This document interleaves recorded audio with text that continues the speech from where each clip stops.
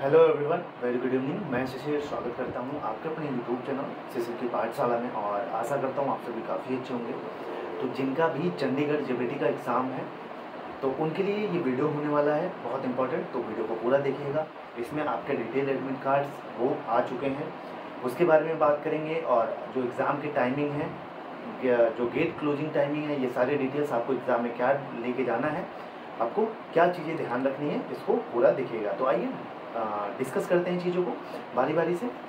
सबसे पहले आप देख सकते हैं कि जो आपका डिटेल एडमिट कार्ड है, आप लोग, पहले क्या था कि आपके एडमिट कार्ड में जो इसके पहले आया था कि आपके जो एग्जैक्ट वेन्यू आपका जो एग्ज़ाम सेंटर था, वो नहीं था उसमें।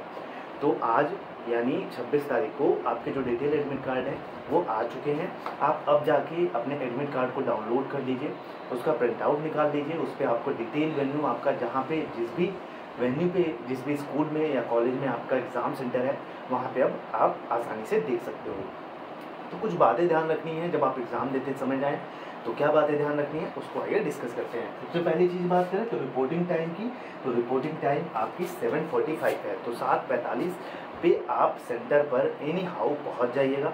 साढ़े आठ बजे एट थर्टी पे जो है आपका गेट क्लोज हो जाएगा। मैं पहले से ही बता दे रहा हूँ आपको। और एग्ज़ाम टाइम जो है आपका वो नाइन थर्टी है। अब बात करते हैं कि आपको क्या क्या लेके जाना है एग्जामिनेशन सेंटर पे तो आपका एक एक्स्ट्रा एडमिट कार्ड फोटोकॉपी ज़रूर लेके जाइएगा साथ में। वहीं बात करें तो आपके पास एक फ़ोटो होना चाहिए प्रॉपर एक या दो दो दो, तीन फ़ोटोस अपनी लेके जाइएगा ज़रूर। और एक वैलिड आईडी प्रूफ मतलब या आपके पास लाइसेंस है, या आपके पास वोटिंग कार्ड है, ये सारी चीज़ें आप ओरिजिनल लेके जाइएगा सेंटर पर। और अगर कहूँ तो नेगेटिव जो नेगेटिव मार्किंग्स हैं, उसको ज़रूर ध्यान में रखिएगा, क्योंकि ज़ीरो पॉइंट टू फाइव की नेगेटिव मार्किंग है, और जो अदर स्टेट वाले हैं, जो दस नंबर की पंजाबी लैंग्वेज आने वाली है वहाँ पे, उनको थोड़ी सी डिफ़िकल्टीज फेस करनी होगी तो रिस्क वहाँ पे तभी लीजिएगा जब आपको लगे कि हाँ हम कट ऑफ़ या मतलब अच्छे मार्क्स गेन कर सकते हैं, और आपको लगता है कि रिस्क लेने चाहिए तो आठ दस क्वेश्चन में अगर आप तुक्का भी लगाते हो तो अगर चार पाँच क्वेश्चन सही होते हैं पाँच छः तो भी बहुत है। आप ज़रूर जा सकते हो। बाकी पेपर को ध्यान से करिएगा। टीचिंग एप्टीट्यूड को जनरल साइंस को एस को, जो भी चीज़ें हैं तो इसको आप बहुत ध्यान से करिएगा। बाकी ऑल द बेस्ट एग्जामिनेशन के लिए।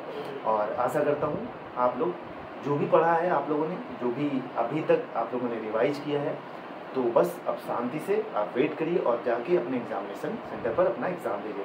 बाकी ऑल द बेस्ट कोई दिक्कत हो तो कमेंट में ज़रूर मेंशन करिएगा। जय हिंद, जय भारत।